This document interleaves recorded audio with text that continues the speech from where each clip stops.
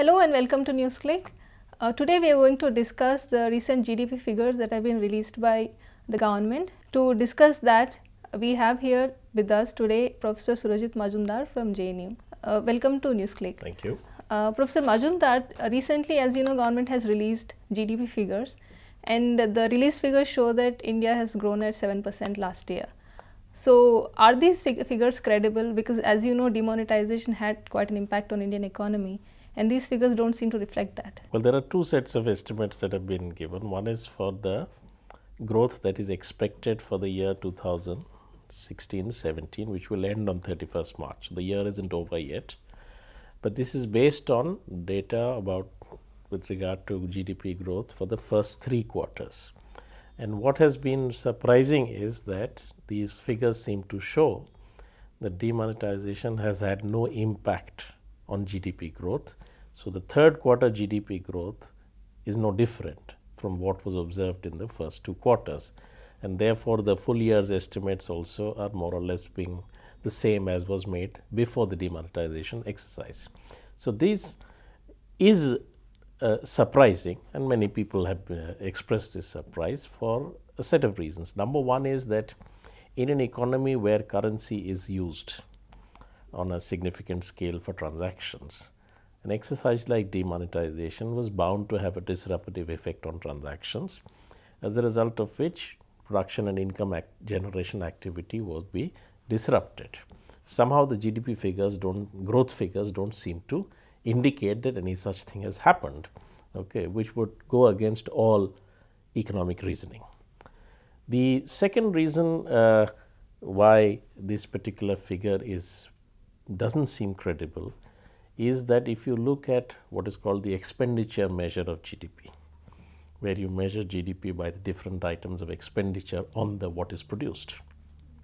Within the category of the expenditure, the highest and very high growth has been observed in the third quarter, which is the quarter where you expect the, where the effects of demonetization should be felt. In the third quarter, consumption expenditure, private consumption expenditure has grown by about 10 percent in real terms.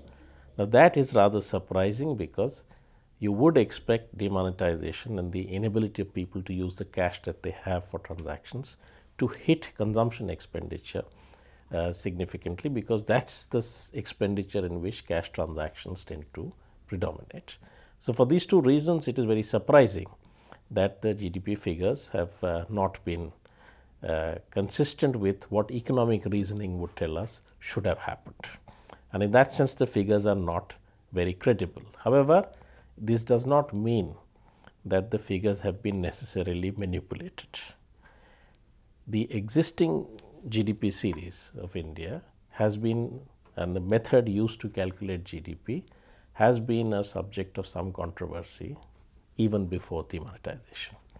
And there is an argument many people have made that the present GDP series is overestimating Indian GDP growth and not capturing what is actually happening in the economy. And perhaps this particular result that no effect of demonetization shows up in GDP growth figures is confirmation of the fact that there is a problem with the method rather than a confirmation of the fact that there has been manipulation of the data. But are there any indicators that uh, that at least give an idea to us what actually happened in the economy to the G GDP? There are at least three sets of indicators that one can cite which would indicate that there was a effect of demonetization in terms of slowing down the rate of economic growth. One indicator is what has happened to bank credit.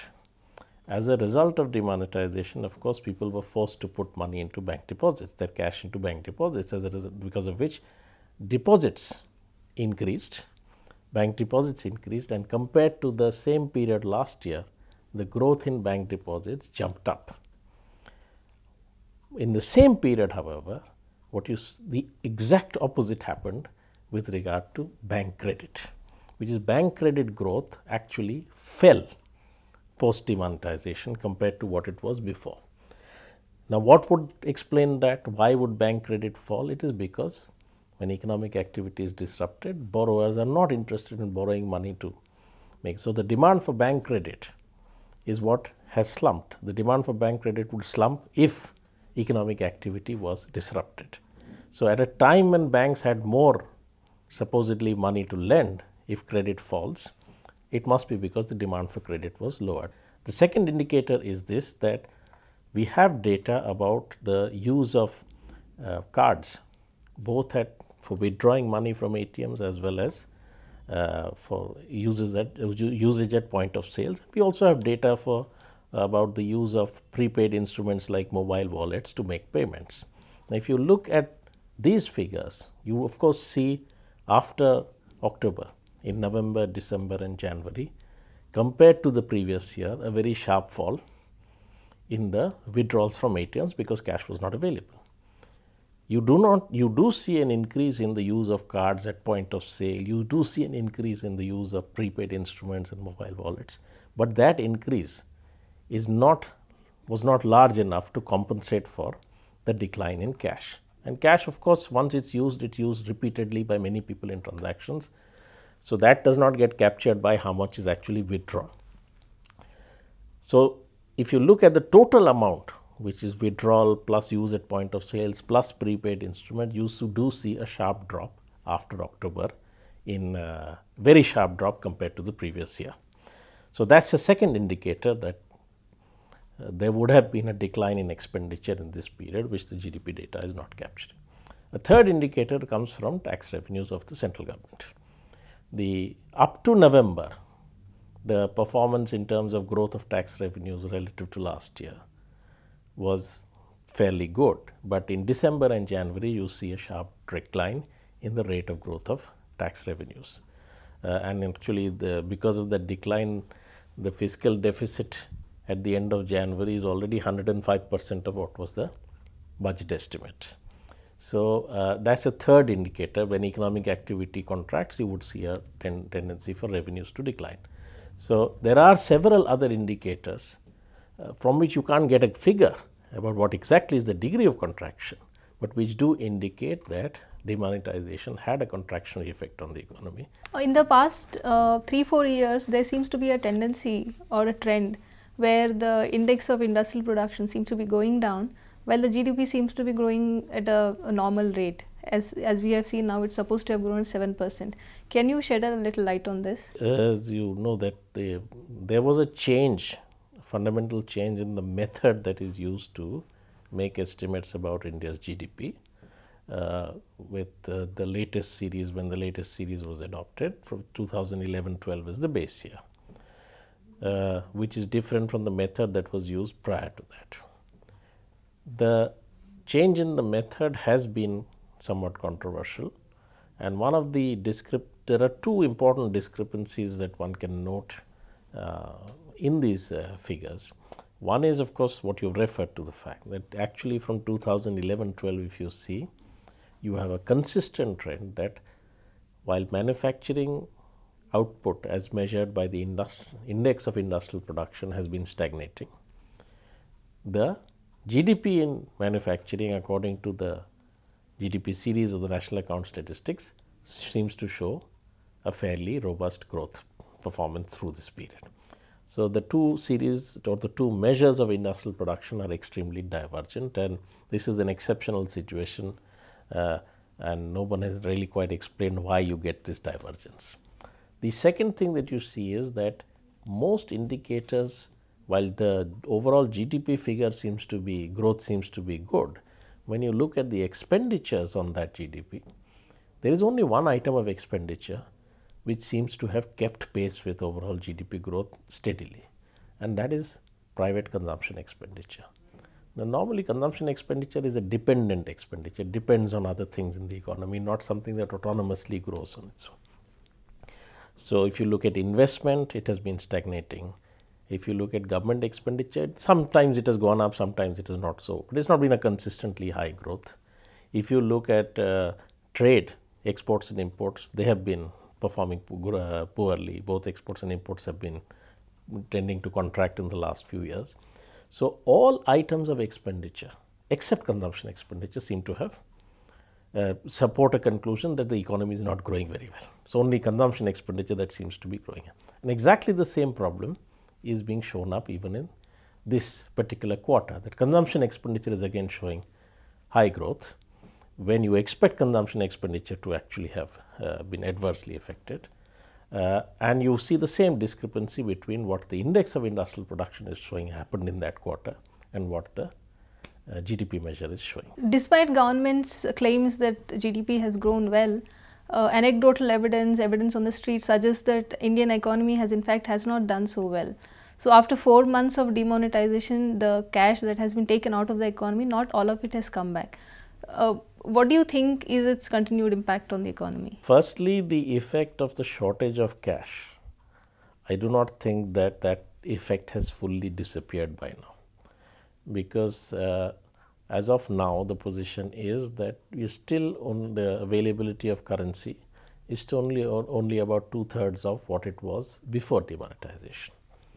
Even assuming that there is some shift some, uh, to non-cash transactions, the scale of that shift would not be that high, as I've said other figures indicate, as to make up for the shortage of cash. So, one is that the effect of shortage of cash even if it is not as severe as it was earlier in this 4 month period, that effect is still continuing, it is not gone. The second is that when economic activity in a particular period is disrupted or affected adversely, it is not that the recovery from that happens uh, as soon as you restore the old in general conditions. So, let us say if some economic activities were adversely affected during this particular period, it is not that as soon as currency comes back, they will bounce back immediately, because the effects of that disruption can last into the future. Certain kinds of production activities like agriculture, where the production itself comes later in the future, the effects of demonetization may be seen only later when the next crop comes, when the effects of demonetization on sowing in uh, uh, in this period may be felt only when the next agricultural output comes. So, there will be effects uh, of uh, demonetization that will last into the future.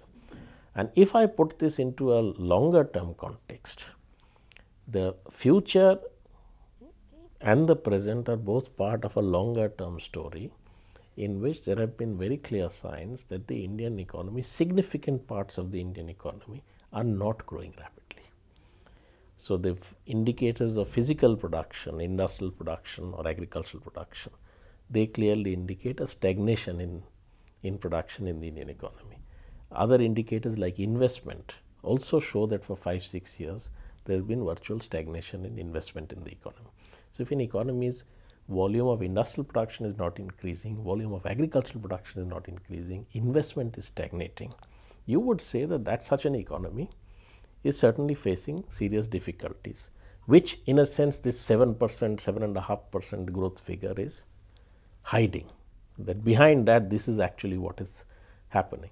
So, demonetization has had an effect in such a background and uh, rather than correcting the problems which are responsible for this, it has aggravated that and therefore, the effects may be felt for a long time in the future.